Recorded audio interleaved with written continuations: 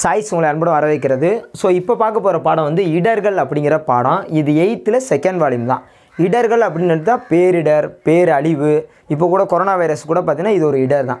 இயற்கை சீற்றத்தால் அப்படிங்கிற மாதிரி கூட இது ஒரு இடராக எடுத்துக்கலாம். செயற்கையின் கூட எடுத்துக்கலாம். அது ஒரு ஒருத்தர் மூலமாக பரவியிருக்கலாம். அதுவாக உருவாகிருக்கலாம் எப்படியோ ஒரு வகையில். அந்த மாதிரி இடர்கள்ங்கிறது இந்தியாவில் சுனாமி எப்போ நடந்துச்சு? அணு உலையால் எப்போ எத்தனை பேர் செத்தாங்க? நம்ம இந்தியாவில் எத்தனை மண்டலங்களாக நம்ம பிரிச்சிருக்கோம். அதுக்கப்புறம் பார்த்தோன்னா எத்தனை ரிக்டர் அளவுகளில் வந்து அது பெரிய பேரிடர் அப்படிங்கிற மாதிரி சொல்கிறாங்க அதுக்கப்புறம் மாசுபடுத்திகள் அப்படிங்கிறது என்னென்ன? நம்ம தமிழ்நாட்டில் மெயினாக நிலச்சரிவுங்கிறது கொடைக்கானலில் ஊட்டியில் நடக்குது. அது எத்தனை சதவீதம்? அதுக்கப்புறம் பார்த்தீங்கன்னா சுனாமி எந்த டைமுக்கு சுனாமி வந்துச்சு அப்படிங்கிற ஒரு விஷயம்லாம் பார்க்க போகிறோம் ஸோ அதை பொறுத்தளவுக்கு இப்போ பார்க்குறது இடர்கள் அப்படிங்கிறதான் ரைட் இடர்கள் ஹஜார்டு அப்படிங்கிற வார்த்தை ஹசார்டு அப்படின்னு சொல்கிறோம் பிரெஞ்சு வார்த்தையான ஹசார்டு பிரெஞ்சு வார்த்தை அது. ஹசார்ட் அப்படிங்கிற ஒரு வார்த்தையிலேருந்து உருவானதான் பிரெஞ்சு மொழி. மொத்தம் மூணு மொழி பிரெஞ்சு அரபு ஸ்பானிய மொழி. நம்ம சுனாமிங்கிறது நம்ம ஆல்ரெடி நம்ம படிச்சிருப்போம். சுனாமி அப்படிங்கிறது ஆல்ரெடி நம்ம படிச்சிருப்போம். ஜப்பானிய மொழி சொல் அப்படிங்கிற மாதிரி படிச்சிருப்போம். ஆனால் பிரெஞ்சு அரபு ஸ்பானிஷ் அப்படிங்கிற ஒரு மூணு மொழி இருக்குது இந்த மூணு மொழியில் பொதுவாக இந்த மூணு மொழியை பொதுவாக சொல்கிறோம் பார்த்துருமா பிரெஞ்சு அப்படிங்கிறது ஹசார்ட் அப்படிங்கிற வார்த்தையிலேருந்து உருவானது. அஸ் சகர் அப்படின்னு சொல்லுவாங்க. இது ஆக்சுவலாக ஹசார்னுங்கிறத பகடை அப்படிங்கிற ஒரு பொருள் இருக்கான் அஸ் சகர் அப்படிங்கிறது அரபு மொழி. பார்த்தாலே முஸ்லீம் வார்த்தை அரபு மொழின்னு தெரியும். அடுத்து அசார் அப்படின்னா ஸ்பானிய மொழி. ஸ்பானிய மொழி தான் அந்த அஜித் பாட்டில் அதாரு அதாருங்கிற மாதிரி அசார் அப்படின்னு வந்தால் ஸ்பானிய மொழி. அப்போ பிரெஞ்சு அரபு ஸ்பானிய மொழியில். அதுக்கப்புறம் பார்த்தீங்கன்னா இந்த சூறாவளி அப்படிங்கிறது எப்படி சார் அடிக்கும்? எத்தனை எவ்வளோ வேகத்தில் அடிக்குன்னா மணிக்கு இரநூறு கிலோமீட்டர் வேகத்தில் அடித்தாலே இரநூறு கிலோமீட்டர் ஆக்சுவலாக இன்னொரு அழகாக சிம்பிளாக பார்த்தோன்னா நானூறு கிலோமீட்டர் சென்னைக்கு. இப்போ நம்ம ஒரு இப்போ மதுரைன்னு எடுத்துக்காங்க. மதுரை திண்டுக்கல் ஒரு ஏரியா எடுத்துக்கலாம். இங்கேருந்து சென்னைக்கு நாங்கள் போனோம்னா நானூறு கிலோமீட்டர் ஆகும். அதில் பாதி எவ்வளவு இரநூறு கிலோமீட்ரு அந்த இரநூறு கிலோமீட்ரு வேகத்தில் அடித்தா சூறாவளி. அதான் சூறாவளி காற்று அப்படின்னு சொல்கிறாங்க மழைப்பொழிவு அப்படின்னு எடுத்துக்கிட்டோன்னு வச்சுக்கோங்க ஐம்பது சென்டிமீட்ரு எப்படி? ஒரு நாளைக்கு ஐம்பது சென்டிமீட்ரு ஒரு நாளைக்கு. ஆண்டுக்கல்ல ஒரு நாளைக்கு ஐம்பது சென்டிமீட்டர் மழை பெஞ்சால் அதுவும் ஒரு பெரிய இடர்னே சொல்லலாம். சுனாமிங்கிறது எப்படி வந்துச்சு அப்படிங்கிறத பார்ப்போம். சுனாமிங்கிறது காலைல ஏழு ஐம்பத்தி ஒம்பது எட்டு மணிக்கு முன்னாடி ஏழு ஐம்பத்தொம்போதுக்கு எல்லோரும் வாக்கிங் போயிட்டுருக்கிற நேரம்.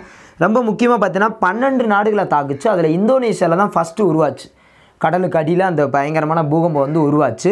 அது பார்த்தீங்கன்னா மணிக்கு எத்தனை கிலோமீட்டர் வேகம்னா அறுநூற்றி நாற்பது கிலோமீட்டர் வேகம் பாருங்கள் ஏன்னா கடல்லேருந்து பயணித்து வரணும்ல. சூறாவளிங்கிறது நிலப்பரப்பில் அடிக்கிற காற்று ஆனால் நிலத்தில் கடலில் அடிக்கிற காற்று ரொம்ப வேகமாக அதிகமாக இருக்கும். அதான் அறுநூற்றி நாற்பது கிலோமீட்டர் டு தொள்ளாயிரத்தி அறுபது கிலோமீட்டர் வரைக்கும்.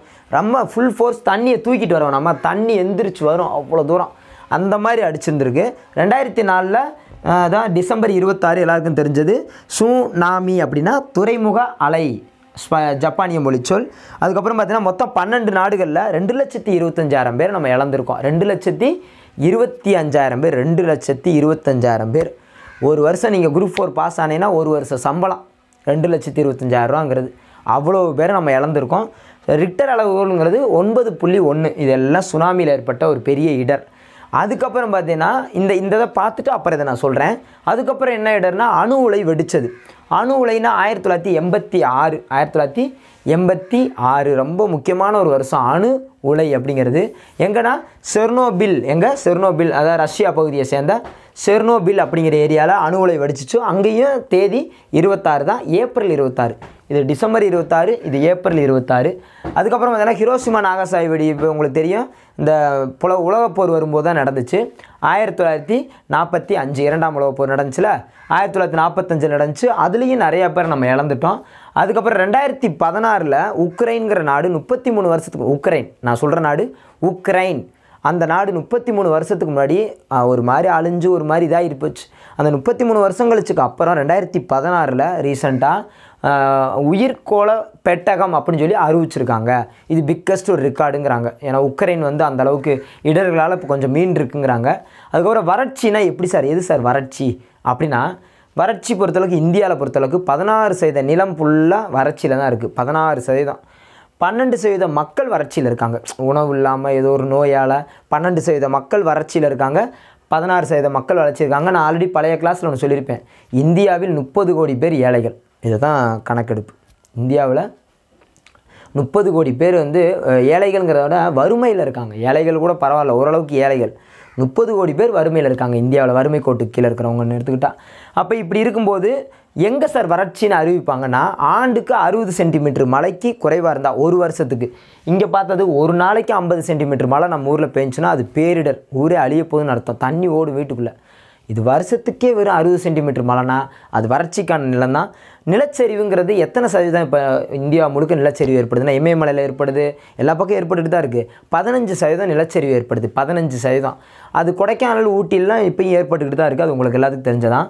அப்புறம் அந்த காற்றால் மாசுபடுத்தியல் நடக்குதுல்ல கண்டிப்பாக நடக்குது காற்று. காற்றால் மாசுபடுத்தியல் என்னென்ன நடக்குதுன்னா சல்பர் சல்பர் டை ஆக்சைடு எல்லாமே ஆக்சைடு ஆக்சைடுன்னே முடியும். Sulphur dioxide nitrogen oxide carbon dioxide. எல்லாருக்கும் தெரிஞ்சது கார்பன் டை ஆக்சைடு.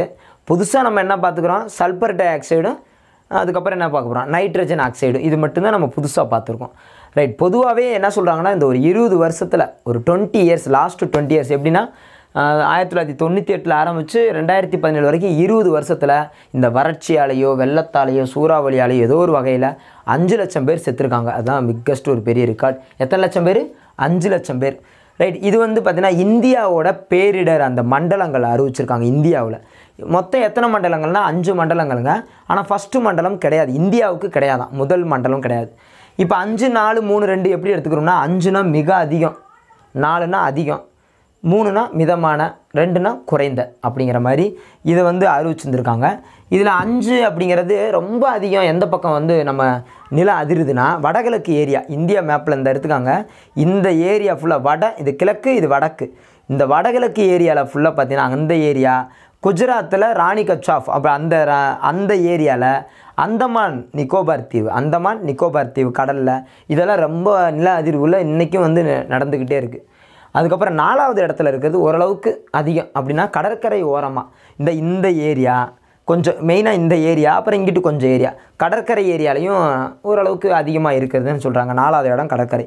மூணாவது இடம் நம்ம தென்னிந்தியா தமிழ்நாடு நம்ம கர்நாடகா ஆந்திரா.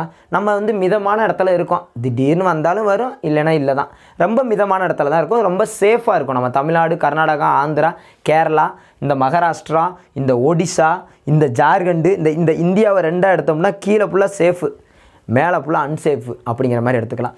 அடுத்து ரெண்டுங்கிறது பிற பகுதிகள் சின்ன சின்ன பகுதிகள் அங்கங்கே ஒரு சின்ன சின்ன ஊர். ஸோ இதுதான் பேரிடர் பேரிழவுன்னு சொல்கிறோம் இதே பாடம் பேரிடருங்கிற பாடம் ஜாக்ரஃபிலையும் ப்ளஸ் ஒன் ப்ளஸ் டூவில் வரும். அப்போ எடுக்கும்போது இன்னும் டெப்த்தாகவே எடுக்கலாம். இப்போதைக்கு எயித்து புக்கில் இருக்கிற பேரிடர் இதுதான். So thank you thank you to all thank you